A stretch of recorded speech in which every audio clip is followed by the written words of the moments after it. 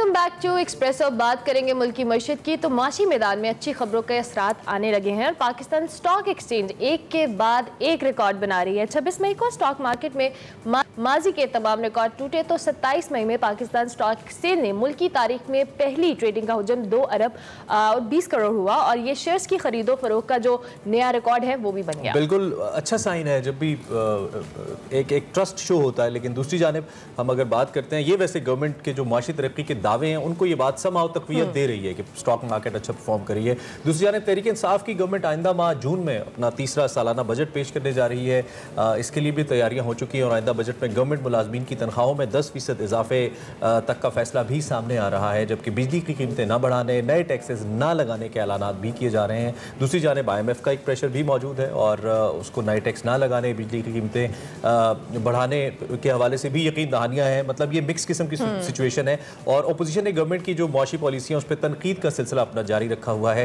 Opposition ये कहती है कि गवर्नमेंट जो है वो अदाद शुमार सही नहीं बता रही।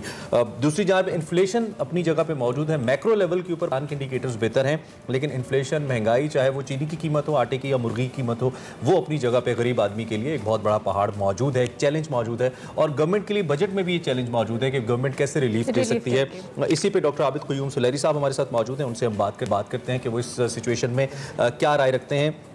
जब भी स्टॉक एक्सचेंज या स्टॉक मार्केट बेहतर परफॉर्म करती है, इससे ओवरऑल जो हमारा एक इंटरनेशनल इमेज होता है बैन सतह के ऊपर वो उसके ऊपर तो एक मस्बत असर आता ही है। तो हम ये इस वक्त जो सूरत हाल बन रही है जीडीपी की हमारी बेहतर खबरें आई मैक्रो लेवल के ऊपर इन्वेस्टमेंट्स बेहतर हुई रेमिटेंसेज हमारी बेहतर हुई फॉरन एक्सचेंज रिज़र्व की सूरत में भी थोड़ी सी तकवीत हमें मिली। तो हम समझे कि आने वाले वक्त में जो सबसे बड़ा चैलेंज इन्फ्लेशन का है और आम आदमी तक सहूलत पहुँचने का है, महँगाई की कमी की सूरत में वो भी जल्द हमें नज़र आएगा, डॉक्टर साहब, ऐसा लग रहा है?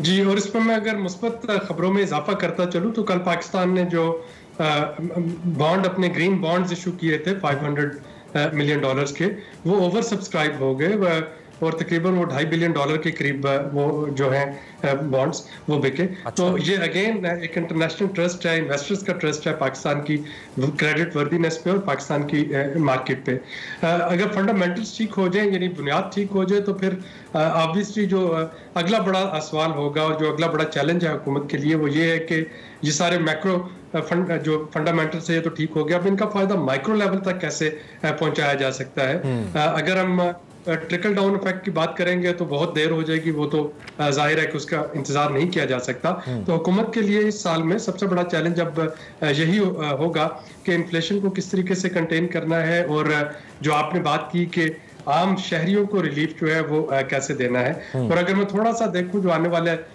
बजट को एक तो जो है कि हुकूमत नए टैक्सेस नहीं लगाना चाह रही स्पेशली उस तरीके के कोई टैक्स नहीं लगाना चाह रही जिससे कि फ़ूड इन्फ्लेशन में इजाफा हो हम्म। लेकिन हैविंग सेड इट आप देखेंगे कि खुराक की कुछ कमोडिटीज ऐसी हैं जिनकी कीमतों में कमी होते हुए मैं नहीं देख रहा हूँ हम्म। क्योंकि इंटरनेशनल मार्केट में इंटरनेशनल रिकवरी के बाद कमोडिटी प्राइस हाई है तो पेट्रोलियम प्राइसेस बढ़ेंगी जब भी अभी मार्च से अभी तक वज़ीर अजम ने पेट्रोलियम की कीमतें नहीं बढ़ाई लेकिन ये जब भी बढ़ेंगी इसका एक जो है रिपल इफ़ेक्ट आएगा। इसी तरीके से खुर्दनी तेल की कीमतें जो है वो बढ़ चुकी हैं। सोयाबीन की कीमत जो है वो 70 परसेंट बढ़ी है पिछले चंद माह में। और सोयाबीन आपकी पोल्ट्री फ़ीड का सबसे बड़ा जुज्व है। हम्म। और यही वजह है पोल्ट्री फ़ीड महँगी हुई और उसके साथ ही चिकन की कीमतों को पर लग गए। तो ये वो चीज़ें हैं जो इम्पोर्टेड आइटम्स है। उस पर तो हम्म। शायद बहुत ज़्यादा कंट्रोल नहीं कर पाएगी।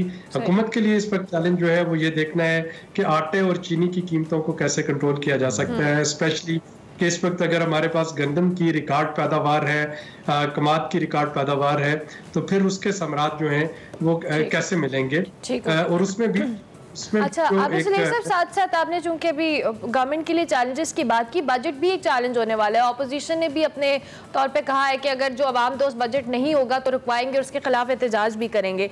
अब कितना चैलेंजिंग होगा ये जो जून में बजट पेश होगा और आवाम को रिलीफ देने में गवर्नमेंट किस हद तक कामयाब हो सकती है? देखिए मैं नहीं समझता कि ये कोविड के थर्ड फ़ेज़ में कोई ऐसा बजट हो जो कि फंडामेंटल से बिल्कुल हटके जिसमें कि आवाम पे बड़ा बहुत ज़्यादा बोझ डाला जाए आईएमएफ। प्रोग्राम में हम हैं लेकिन आईएमएफ को इस बात का पूरी तरह से एहसास है कि पाकिस्तान एक कोविड थर्ड वेव से गुजर रहा है और बड़े अच्छे तरीके से उसका हम्म। मुकाबला कर रहा है आईएमएफ हम्म। ने पिछले साल की हमारी जो मैक्रो इकोनॉमिक फ्रंट पे कारकर्दगी है वो भी देख ली है और उससे काफ़ी हद तक मुतमिन है तो मेरा नहीं ख्याल कि बजट में कोई ऐसी चीज़ हो जो कि अपोजिशन को ये जवाब दे या आम शहरियों को ये जवाब दे कि वो सड़क पे आए और उस पर एहतजाज करें। अच्छा, डॉक्टर साहब एक बार फिर हम बड़ा ओवर एम्बिशियस ओवर एम्बिशियस ही मैं कहूँगा तकरीबन अठावन सौ अरब रुपए का हम टारगेट इस वक्त ज्यूम कर रहे हैं कि हम रखने जा रहे हैं टैक्सेस कलेक्शन को लेकर। ये मैंने पहले भी शोज़ में डिस्कस किया है। मैं आपसे भी पूछना चाहता हूँ कि हमने पिछले साल के अंदर भी और अगले आने वाले फ़िज़िकल ईयर के अंदर भी हमने कोई ऐसी विंडो तो पैदा नहीं की है जिससे या ऐसी कोई रीस्ट्रक्चरिंग तो नहीं की अपने एफबीआर को लेकर या इदारों को लेकर, जिससे हमारी टैक्स कलेक्शन बेहतर हो जाएगी। वही इनडायरेक्ट टैक्सेस का सिलसिला है, वही लगे बंदे हमारे हेड्स हैं, जिससे हमने टैक्स लेना है। और उसको लेकर हम अपनी एम्बिशियसनेस तो बढ़ाते जा रहे हैं। आपको नहीं लगता कि हुकूमत ने जो दावे और वादे किए थे, जो इमरान खान साहब खास तौर पे अपने पॉलिटिकल मैनिफेस्टो के अंदर कहते थे इलेक्शन से पहले, कि मैं आपको टैक्स इकट्ठा करके दिखाऊँगा, और उन्होंने तो खैर बहुत बड़े बड़े दावे किए थे तो उस सूरत हाल के अंदर अब जब हमने कोई नई विंडो नहीं निकाली है तो don't you think still challenging होगा और एंड पे जाके फिर हमें खसारे का सामना हो सकता? है देखिए अगर इस साल में तमाम हालात के बावजूद आप नियरली फाइव ट्रिलियन रुपया आपने इकट्ठा कर लिया हम्म। तो अगले साल अगर और कोई भी इनोवेशन ना की जाए तो इन्फ्लेशन और जीडीपी ग्रोथ का इम्पैक्ट मिला के 14-15 परसेंट तो इसमें वैसे इजाफा हो जाएगा। तो 5.3 5.4 ट्रिलियन रुपीस का टारगेट जो है वो तो आराम से इकट्ठा हो जाएगा। उसके ऊपर जो चार पाँच सौ मिलियन रुपए बनते हैं। वो देखना होगा कि उसके लिए हुकूमत अपना टैक्स नेट कैसे ब्रॉडन करती है।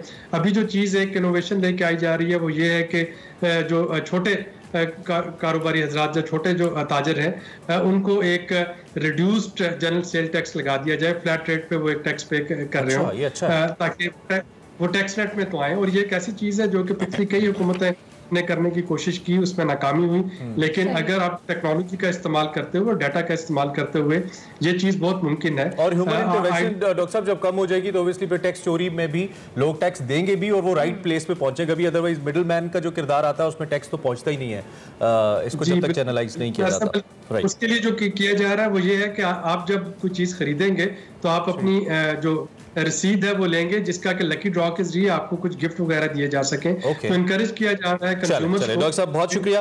वक्त हमारे पास तक हो गया। आपका बहुत शुक्रिया। आपने साफ़ मौजूद पर बात की क्विक ब्रेक हमने लेनी है वापस आप